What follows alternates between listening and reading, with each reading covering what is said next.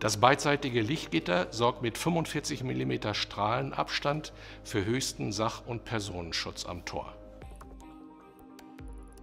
Neu ist die Auswertung jedes einzelnen Lichtstrahles, um eine detailliertere Fehleranalyse durchführen zu können.